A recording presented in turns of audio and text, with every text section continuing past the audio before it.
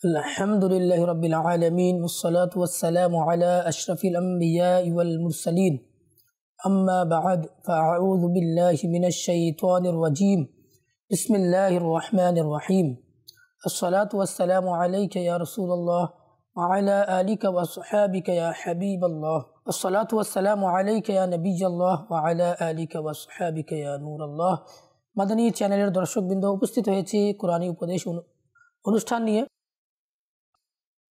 আর আমরা এই অনুষ্ঠানে কোরআনে করিমের একটি আয়তে করিমা নিয়ে আমরা আলোচনা করে থাকি তো আজ আমরা একটি আয়তে করিমা বেছে নিয়েছি সুরা নিসার উনিশ নং আয়াত আল্লাহ সুবহান ওয়া তাআলা কোরআনে করিমের মধ্যে ইরশাদ করেছেন ইয়া আইয়ুহাল্লাযীনা আমানু লা ইয়াহিল্লু লাকুম আন তারিসুন নিসাআ কারহা ولا تعدلوهن لتذهبوا ببعض ما آتيتموهن إلا أن يأتين بفاحشة مبينة وعاشروهن بالمعروف فإن كرهتموهن فعسى أن تكرهوا شيئا ويجعل الله فيه خيرا كثيرا তো এই আয়তে করিমা আলোকে আমরা আজ এই অনুষ্ঠানে চারটি বিষয় নিয়ে আলোচনা করব এক নম্বর বিষয় হচ্ছে যে নারীরা উত্তরাধিকার সূত্রে যে সম্পদগুলো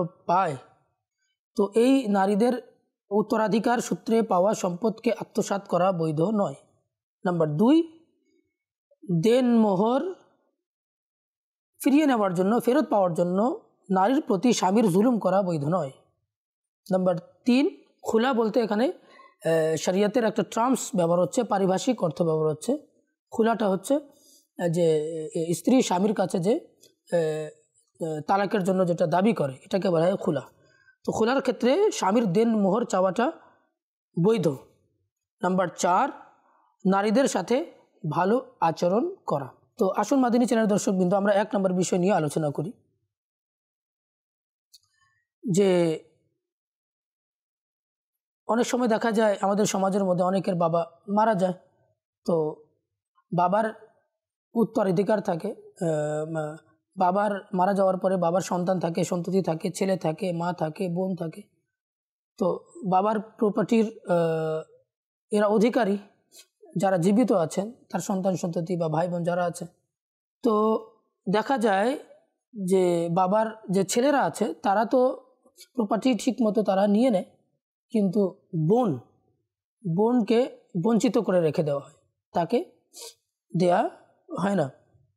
জাহেরি যুগের মধ্যে হুজুর আলি সালাতামের আগমনের পূর্বে জাহেরি যুগে প্রথা ছিল যে মানুষ কী করতো নারীদেরকে পণ্য হিসেবে ব্যবহার করত। তারা অনেক সময় নিজেদের স্ত্রীকে কি করতো অন্য একজনের সাথে বিয়ে দিয়ে দিত আর ওই দেন মোহরের টাকা ওই স্ত্রীকে না দিয়ে সে নিজে রেখে নিত।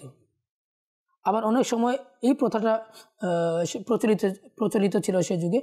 যে নিজের স্ত্রীকে নিজের কাছে রাখতো, যতক্ষণ পর্যন্ত মারা না যেত। এজন্য রাখতো নিজের কাছে যাতে করে সে যে প্রপার্টি তার বাবার কাছ থেকে পাবে সে যেন ওই ওই লোকটা যেন পেয়ে যায়। তো বিভিন্নভাবে তাদেরকে কষ্ট দেওয়া হতো। আর আজও আমাদের সমাজের মধ্যে দেখা যায়, ওই বাবা মারা যাওয়ার পরে ওই প্রপার্টিটা ওই ছেলেরা নিজেদের মাঝে বন্টন করে নেয়, কিন্তু নারীদেরকে বঞ্চিত করে রাখা হয়। মাদিনী ছেলের দর্শক এরকম করা যাবে না। বরং কোরআনের মধ্যে আল্লাহ সুবহান ওয়া তাআলা ইরশাদ করে দিয়েছেন যে লিদ জাকারি মিসলু হাফিল উনসাইন যে নারীদের আল্লাহ তালা কোরআনের মধ্যে বন্টন করে দিয়েছেন ইরশাদ করে দিয়েছেন, নির্দেশ দিয়েছেন যে পুরুষের জন্য নারীদের চেয়ে দ্বিগুণ রয়েছে। অর্থাৎ পুরুষরা যদি দু ভাগ পায়, নারীরা এক ভাগ পাবে। কিন্তু এটাও আমাদের সমাজের মধ্যে নারীদেরকে এই ভাগটাও দেয়া হচ্ছে না।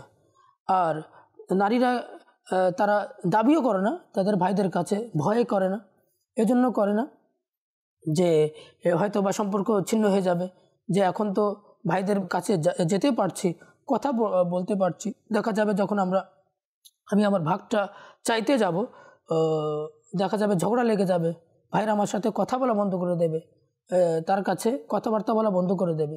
বাড়িতে আসা আমাদের, আসা যাওয়া একেবারে বন্ধ হয়ে যাবে।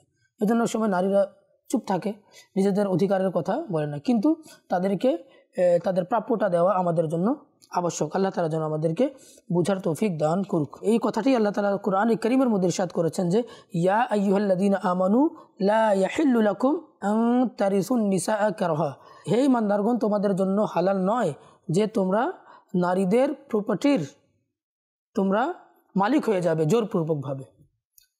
তো আল্লাহ তালা যেন আমাদেরকে বাঁচার তৌফিক দান করুক। আর দ্বিতীয় নম্বর বিষয় আমরা আলোচনা করতে চেয়েছিলাম যে দেন মোহর ফেরত পাওয়ার জন্য স্বামীর নারীর প্রতি জুলুম করাটা কেমন? তো আমাদের সমাজের মধ্যে দেখা যায় কারও বিয়ে হয়ে যায় আর খুব অনেক বেশি দেন মোহর নির্ধারণ করে দেওয়া হয়। তো স্বামী তো অলরেডি দিয়ে দিয়েছে নারীকে দিনমোহর চার লক্ষ টাকা, পাঁচ লক্ষ টাকা, দশ লক্ষ টাকা, বারো লক্ষ টাকা। কিন্তু এখন স্বামী আর স্ত্রীর মাঝে আন্ডারস্ট্যান্ডিং হচ্ছে না। ঝগড়া হচ্ছে। পরিবারটা একেবারে ভেঙে যাবে বা স্বামীর স্ত্রীর কোনো কিছু পছন্দ হচ্ছে না। তো দেখা যায় স্বামী কি করে? নারীর প্রতি জুলুম করা শুরু করে দেয়, তাকে কষ্ট দেওয়া শুরু করে, নির্যাতন করতে শুরু করে, আবার তালাকও দেয় না। তো এভাবে মাদিনী চ্যানেলের দর্শকবৃন্দ দেন মোহর ফেরত পাওয়ার জন্য নারীদের প্রতি অত্যাচার করা, জুলুম করা এটা কোনো ক্রমে বৈধ নয়। আল্লাহ রসুল সাল্লাহ সাল্লাম ইসাদ করেছেন আল মুসলিমু মান সালিম আল মুসলিমুন আমিল লিসানি ওয়াদি মমিন ব্যক্তি তো সেই যার হাত এবং মুখ দ্বারা অন্য মুসলমান হেফাজতে থাকে। আর স্বামী যদি এমন হয় যে তার হাতে তার স্ত্রী যদি হেফাজতে না থাকে, এটা কীভাবে সম্ভব? কীভাবে হতে পারে? তো কোনো ক্রমেই দেনমোহর ফেরত পাওয়ার জন্য স্ত্রীকে কষ্ট দেওয়াটা বৈধ হবে না এই কথাটি আল্লাহ তালা কোরআন করিমের মধ্যে ইরশাদ করেছেন যে ওয়ালা তাদুলু হুন্না لتذهبوا ببعض ما آتيتموهن إلا أن يأتين بفاحشة مبينة আল্লাহ তালা বলছেন যে তোমরা তাদেরকে রুখে রেখো না তাদেরকে বাধা দিও না তাদেরকে জুলুম করো না তোমরা যে তোমরা কিছু দিয়েছো দেন মোহর হিসাবে তা নেয়ার জন্য তাদেরকে রুখে রেখো না তাদেরকে কষ্ট দিও না তাদেরকে জুলুম করো না। তো আল্লাহ সুবহানু তালা কোরআন করিমের মধ্যে আরেক জায়গায় ইরশাদ করেছেন, তোমরা নারীদেরকে খুশি খুশি মনে তাদের দেন মোহর তাদেরকে দিয়ে দাও। ফা ইং টিপ নালাকুম আনসাই ইম মিনু নাফসা। যদি ওই নারীরা খুশি মনে যদি নিজেদের দেন মোহর থেকে তোমাদেরকে কিছু দিয়ে দেয়, তাহলে তোমরা খেতে পারো। সুবাহান আল্লাহ তাহলে তোমরা স্বাচ্ছন্দ্য রূপে খুশি খুশি মনে তোমরা সেটা খেতে পারো। অনেক সময় স্বামী স্ত্রীর মাঝে দেখা যায় যে তালাক হয়েই যায়। তো এক্ষেত্রে আবার ইসলাম নিয়ম বর্ণনা করেছে যে খালওয়াত খালওয়াত জিনিসটা কি? যে স্বামী স্ত্রী মানে কোনো একাকিত্বে জায়গায় যদি অবস্থান করে বিয়ের পর, তাহলে যদি খালওয়াত পাওয়া যায়, তো তাহলে খালওয়াতের পরে যদি বিচ্ছেদ ঘটে, তালাক হয়ে যায়, তাহলে পুরো দেন মোহরটা নারীকে দিতে হবে, স্ত্রীকে দিতে হবে। আর যদি এখনও শুধু বিয়ে হয়েছে, কাবিন নামা হয়েছে, কাবিনে লেখা হয়েছে, কিন্তু খালবাত পাওয়া যায় নাই বা এখনও পর্যন্ত মেয়ে তার বাবার ঘর থেকে স্বামীর ঘরে আসেনি আর বিচ্ছেদ অলরেডি ঘটে গেছে, তখন অর্ধেক দেনমোহর আদায় করতে হয়। তো আল্লাহ তালা আমাদেরকে বোঝার তৌফিক দান আমাদের সমাজের মধ্যে যে বিয়ে হয়, কাবিন নামা লিখা হয়, তো ওখানে দেখবেন দুটা বিষয় লেখা থাকে। একটা লেখা থাকে মেহরে মোয়াজ্জাল আর একটা লেখা থাকে মেহরে মোয়াজ্জল। তো, একটার বানানো হচ্ছে মিম আয়ন জিম, লাম, মোয়াজ্জল। এটা হচ্ছে তাজিল শব্দ থেকে আসছে তাজিল মজদার থেকে মোয়াজ্জল। তো, মোয়াজ্জাল হচ্ছে তাড়াতাড়ি, অর্থাৎ নগদ। আর একটা হচ্ছে মোয়াজ্জাল, তাজিল। হামজার মাধ্যমে মিম, হামজা, জিম, লাম। এটা হচ্ছে বাকি মানে একটু দেরি বিলম্ব করে আদায় করা। তো, মোহর দু প্রকার হয়ে গেল। একটা হচ্ছে নগদ দিয়ে দেয়া যদি মেহরে মোয়াজ্জাল থাকে, তাহলে তো বিয়ের রাতেই তার স্ত্রীকে সে প্রদান করে দেবে। আর মোয়াজ্জাল থাকলে সেটা পরে প্রতিদান পরে সেটা দান করবে। তো আমাদের সমাজে মেয়ের পক্ষ থেকে কিন্তু দাবি করা হচ্ছে না। দেখা যায় ছেলের পক্ষ থেকে আসে, মেয়ের পক্ষ থেকে মানুষ আসে। তো বিয়ের পূর্বেই তারা একসাথে বৈঠক বসে কলম খাতার মাধ্যমে নির্ধারণ করে নেওয়া হয়। অর্থাৎ নারীর অভিভাবকের পক্ষ থেকে কেউ থাকে তারা দিনমোহর নির্ধারণ করে দেয়। আচ্ছা অনেক সময় দেখা যায় যদি স্বামী মারা যায় দেনমোহর স্বামী আদায় করে নেয়, তো দেখা যায় তো ওই দেনমোহরটা আদায় করবে কীভাবে? তো স্বামী যে টাকাটা রেখে গিয়েছে, যে অর্থ সম্পদ রেখে গেছে, সেই অর্থ সম্পদ থেকে প্রথমে তার কাফন দাফনের জন্য ওখান থেকে অর্থ বের করে তার জন্য কাফন দাফনের ব্যবস্থা করতে হবে। তারপর স্বামীর উপর যে কর্জ রয়েছে ওই স্ত্রীর যে দেনমোহরের টাকা, সে স্ত্রীকে সেটা দিয়ে দিতে হবে। কিন্তু আর একটা কুপ্রথা প্রচলিত আছে আমাদের সমাজে। দেখা যায়, স্ত্রী মারা গিয়েছে, আর স্বামী এখনও দেনমোহর দেয় নাই। তো দেখা যায়, স্ত্রীর কানে গিয়ে স্বামী গিয়ে বলে যে, আমি তোমাকে দেনমোহর দিই নাই, আমাকে ক্ষমা করে দিও। তো এটা আজব একটা কুপ্রথা আমাদের সমাজের মধ্যে প্রচলিত আছে। এটা তো স্বামীর জন্য দেওয়া ওয়াজিব ছিল। তো এখন যদি দিতে না পারে তাহলে স্ত্রীর বরাসাকে এই দেন মোহরের টাকা দিয়ে দিতে হবে। আল্লাহ তালা যেন বুঝার তৌফিক দান করুক। আমাদের সমাজে অনেক সময় দেন মোহর তো কম নির্ধারণ করা হয়, বেশি হয় না। কিন্তু আরব বিশ্বের মধ্যে যে দেনমোহর আছে একটু বেশি নির্ধারণ করা হয়। অলমাইকরাম বলেছেন, যদি কোনো ব্যক্তি অসুস্থ হয়ে যায়, তাহলে নারীর যেটা দেনমোহরের টাকা আছে ওই দেনমোহরের টাকা দিয়ে মধু কিনে।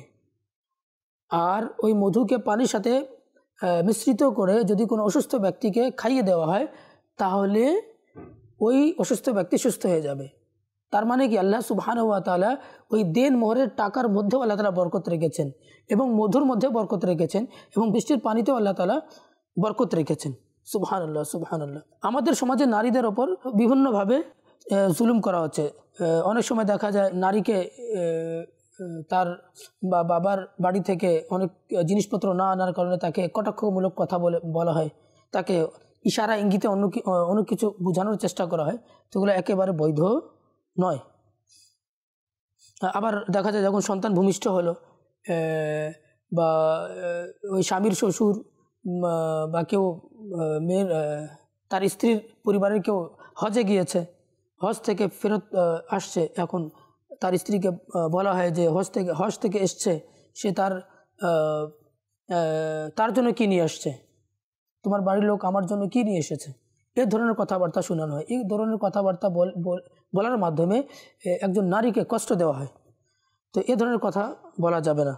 আল্লাহ তালা যেন আমাদেরকে বুঝার তৌফিক দান করুক। আবার বর্তমানে এমন এমন হয়ে গেছে, দেখা যায় স্বামী গিয়েছে বাইরে কাজ করার জন্য এদিক তার স্ত্রী এবং তার মায়ের সাথে, অর্থাৎ শাশুড়ি আর বৌমার মধ্যে ঝগড়া হয়ে গেছে।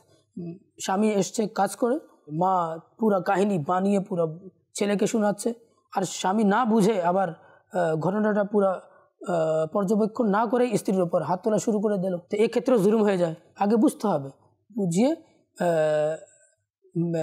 বিষয়টাকে সমাধান করতে হবে। এই নয় যে মায়ের পক্ষ নিয়ে, স্ত্রীর উপর জুলুম করা বা স্ত্রীর পক্ষ নিয়ে মায়ের উপর জুলুম করা এরকম কখনো করা যাবে না। চ্যানেল দর্শক বিন্দু, তিন নম্বর আসুন আমরা তিন নম্বর বিষয় নিয়ে আলোচনা করি। যে স্বামীর জন্য খোলার সময়, খোলা বলতে যেটা আমরা, এটা আমরা পারিভাষিক ট্রাম ব্যবহার করছি।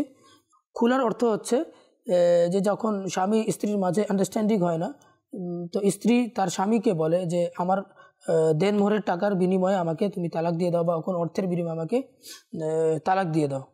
আর তালাক হচ্ছে যে স্বামী নিজ ইচ্ছায় স্ত্রীকে তালাক দেওয়া এই ক্ষেত্রে নারীর ইচ্ছা থাকে না, কিন্তু খোলার ক্ষেত্রে নারীর ইচ্ছা থাকে তালাকের। তো তো খোলার যে অর্থটা থাকবে দেন মোহরের চেয়ে যেন বেশি না হয় দেন মোহরের যেন বরাবর থাকে। রসুল্লাহ সাল্লাহ সাল্লাম বলেছেন যে আল্লাহ তালার কাছে হালাল কাজগুলোর মধ্যে অপছন্দনীয় কাজ হচ্ছে যে তালাক দেয়া। তো অনেক সময় দেখা যায় নারীদের পক্ষ থেকেও অনেক সময় কষ্ট দেওয়া হয় স্বামীকে। শুধু এমন না যে নারীরাই মজলুম হয়ে থাকে। অনেক সময় অনেক নারীদের মুখ এত বেশি চলে, যার কারণে স্বামী খুব কষ্ট পায়। তো এক্ষেত্রেও ইসলাম সমাধান দিয়েছে যে যদি স্ত্রী স্বামীকে কষ্ট দেয় গালি গালাজ করে, তার পরিবারের লোককে গালমন্দ দেয় তারপর এমন হারাম কাজে জড়িত হচ্ছে, যা তার জন্য বৈধ নয়। তো সেক্ষেত্রে একটা সুযোগ রয়েছে। এক্ষেত্রে যদি বিচ্ছেদ ঘটে তাহলে স্বামী গুনাগার হবে না। কিন্তু তারপরও পরিবারটাকে বোঝানোর ধৈর্য ধারণ করা উচিত। আল্লাহ তালা আমাদেরকে ধৈর্য ধারণ করার তৌফিক দান করুক। তো দেনমোহরের টাকা আহ, খোলার ক্ষেত্রে যদি স্বামী চায় তাহলে সে অর্থটা যতটুকু দেনমোহর নির্ধারণ হয়েছিল ততটুকু টাকা নিতে পারে। এই যে আল্লাহ সুবহান ওয়াতালা কোরআন করিমের মধ্যে বলেছেন যে, ইল্লা আতিনা বিফা হিসাতিম মুবাইয়ানা।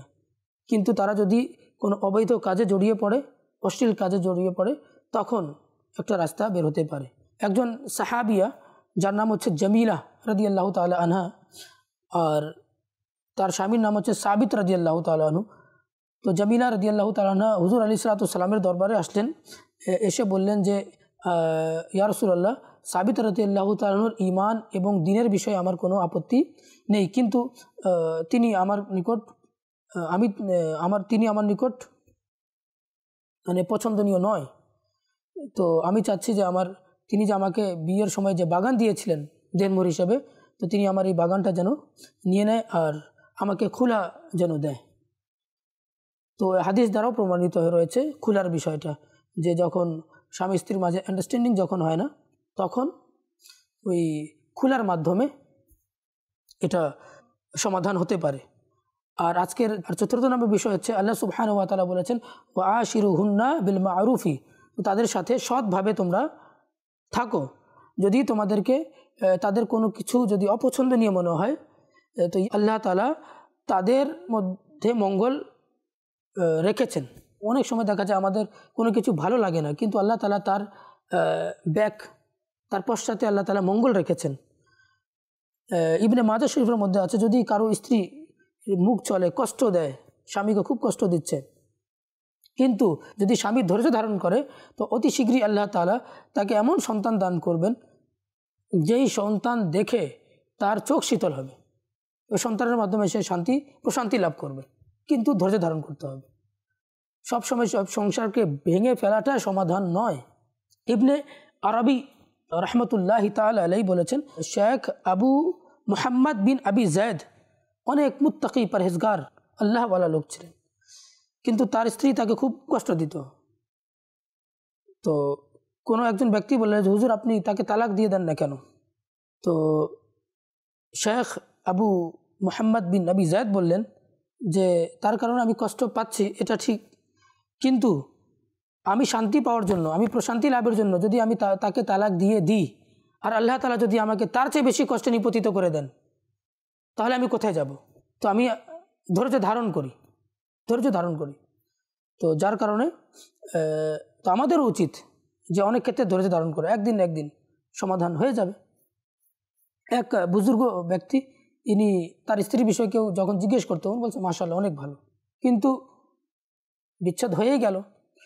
পরে আবার একজন এসে যখন জিজ্ঞেস করল তার স্ত্রীর বিষয়ে, তখন সে বলল যে, পূর্বে তো সে আমার স্ত্রী ছিল, তখনও তার বিষয়ে বলাটা আমার জন্য ঠিক ছিল না, আর এখন তো সে আমার স্ত্রীও না। এখন তার বিষয়ে আমি কোনো গিবোধ আমি করব না। তো আল্লাহওয়ালারা কেমন হয়ে থাকেন? অনেক সময় না, স্ত্রীর পক্ষ থেকে ভুল হতে পারে, কিন্তু ক্ষমার দৃষ্টিতে দেখতে হবে। ক্ষমা করতে হবে, ক্ষমা করতে হবে। ইনশাআল্লাহ একদিন না একদিন ভালো হয়ে যাবে। একবার এক লোক ইন্তকাল বরণ করল, সে যখন মারা গেল, তো কোনো এক ব্যক্তি তাকে স্বপ্নে দেখল যে সে জান্নাতের মধ্যে বিচরণ করছে। তো কেউ জিজ্ঞেস করল যে, আল্লাহ তালা তোমার সাথে কী রূপ আচরণ করেছেন? সে বলল যে, আল্লাহ তালা আমাকে ক্ষমা করে দিয়েছেন। বলে, কি আমল করার কারণে তোমাকে আল্লাহ তালা ক্ষমা করে দিয়েছেন? বলল যে, একদিন আমার স্ত্রী খাবার রান্না করেছিল তো খাবারের মধ্যে লবণ কম ছিল। তো আমার রাগ আসছিল, কিন্তু আমি আমার রাগকে, আমি প্রতিহত করেছি। রাগকে দমিয়ে দিয়েছি। আর আমি আমার স্ত্রীকে কোনো পাকড়াও করি নাই। তাকে ক্ষমা করে দিলাম। তো এই আমার স্ত্রীকে যে আমি ক্ষমা করে দিয়েছিলাম, আল্লাহ তালা এই আমলের বরকতে আল্লাহ তালা আমাকেও ক্ষমা করে দিয়েছেন। সুবহান আল্লাহ তো মাদানী চ্যানেলের দর্শকবৃন্দ আজ আমরা যেটা অনুষ্ঠানে আমরা শুনেছি যে নারীদের প্রতি যে জুলুম করা হয়, আমরা বাঁচার চেষ্টা করি। আজ যদি আমরা জুলুম করি, কেয়ামতের দিন যদি আমাদের উপর পাকড়াও করা হয়, আল্লাহ তালা যদি পাকড়াও করেন, আল্লাহ তালা বলেছেন ইন্না বৎসরব্বিকেলা সেদিদ আল্লাহ তালার পাকড়াও খুব কঠোর। আর ওই নারীদেরকে আমি বোঝানোর চেষ্টা করব, যারা তাদের স্বামীকে কষ্ট দেয়। স্বামী বাইরে কষ্ট কষ্ট করছে আয় উপার্জন করছে, আর স্ত্রীর তার মানে আপত্তি শেষই হচ্ছে না। আপত্তি শেষই হচ্ছে না। শুক্রিয়া নাই, কৃতজ্ঞতা নেই। স্বামীর কাছে একটা ব্যালেন্স আছে ফ্যামিলি চালানোর জন্য। মাস গেছে, দশ দিন, বিশ দিন বাকি আছে। সে পুরোটা মাস হিসেবে চিন্তা করছে। আর স্ত্রী চিন্তা করছে যে, আমি কাপড় পাই নাই। আমার এই জিনিসটা নাই, ওই জিনিসটা নাই।